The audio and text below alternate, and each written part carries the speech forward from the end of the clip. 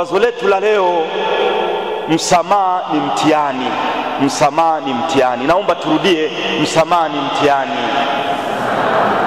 Turudie tena, msamaha ni mtihani. Neno la kwanza la Bwana wetu Yesu Kristo msarabani ni Baba, uwasamee kwa vile hawajui wanalolifanya. Neno la kwanza la Bwana wetu Yesu Kristo msarabani Baba, uwasamee kwa vile hawajui wanalolifanya.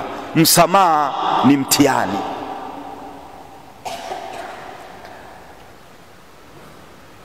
Bukoba tuna methali inasema, abontambire nkumu mboba ye mfumaza Yaani watu nao tibu vidole ndo wanaiba viazi vyangu. Yesu alikuwa na mtihani, watu waliowatendea wema walimtendea ubaya, lakini yeye akawasamee. Baba, uwasamee. Akaomba sala, Baba awasamee.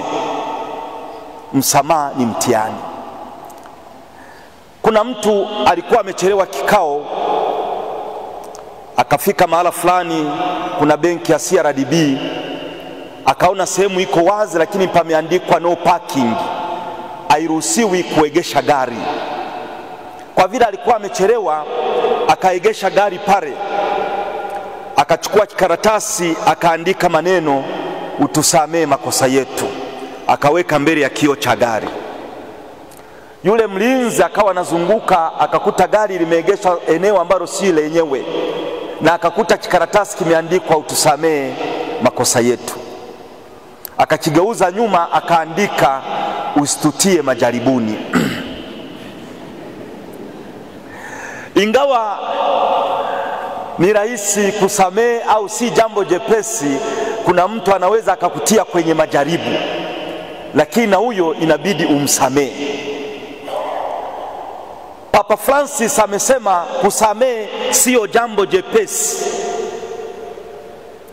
Kuna mtu unamsamehe, lakini hayuko tayari kupokea msamaha. Kununa akubadili historia, kinachobadili historia ni msamaha. Msamaha unabadili historia. Ndio maana Bwana wetu Yesu Kristu aliposema Baba uwasamehe, kilichotokea kilibadili historia kwa sababu mtu aliyeuawa msalabani alilahani siku aliyozaliwa, alilahani hata wazazi wake kwamba wakumlea vizuri. Wengine waliwakata ndimi ili wasitukane watu. Sasa neno la kwanza la Yesu Kristo msalabani lilikuwa Baba uwasamee, tena akawatetea kwa vile hawajui wanalolifanya, na hiyo ikaleta muujiza, kwa sababu yule mwizi mwingine mkono wa kulia anaitwa Dismas ama Demakusi akabadilika akawa mtakatifu, lakini yule aliyemchoma Yesu Kristo mkuki na yeye akabadilika akawa mtakatifu, anaitwa Mtakatifu Longinus.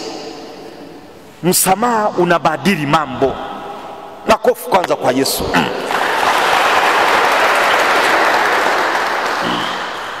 Msamaha unatakasa kumbukumbu. Papa Francis ameelezea kama kuwa na mtazamo chanya amesema usililie ulichokipoteza, pigania ulicho nacho. Usililie kilichokufa, pigania kinachozaliwa katika wewe. Usimlilie yule aliyekuacha, mpiganie yule aliyeko na wewe. Usiwalilie wale wanaokuchukia, wapiganie wale wanaokupenda. Usililie jana yako, pigania juhudi zako za sasa. Usililie mateso yako, pigania furaha yako. Kwa mambo yanayotokea tunajifunza kuwa hakuna jambo ambalo haliwezekani kutatuliwa. Msamaha unawezekana na msamaha unatakasa kumbukumbu. Naomba turudie, kusamehe ni kutakasa kumbukumbu. Kuna mama mmoja Ujerumani alikuwa anapakana na mjane mwingine. Kila kuku wakichafachafua na mbwa anachukua kinyesi anatupa upande wa ukuta upande mwingine, inaangukia kwenye sehemu ya nyingine ya mama mwingine anatupa takataka huku. Yule mama anakusanya takataka, alizitumia sana kama mbolea kwenye maua yake.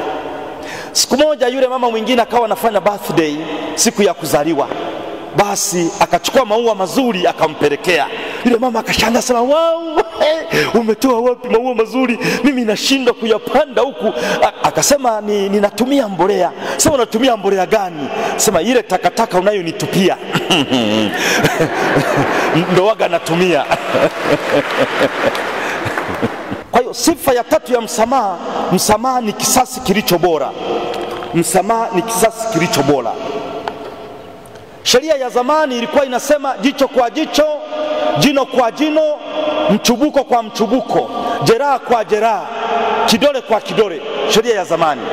Lakini ingekuwa jino kwa jino, sote tungekuwa vibogoyo. Ingekuwa jicho kwa jicho, sote tungekuwa vipofu. Kwa hiyo msamaha ulio bora, msamaha ulio bora, eh, kisasi kilicho bora ni kusamehe. Samehe. Nelson Mandela alipotoka gerezani amefungwa miaka 27 alipiga hatua mbili hivi, akatazama nyuma, akasema walionifunga miaka 27 nisipowasamehe, ingawa nitakuwa nje ya gereza, nitakuwa kwenye gereza la chuki. Nelson Mandela akasema nimewasamehe, akaendelea na safari.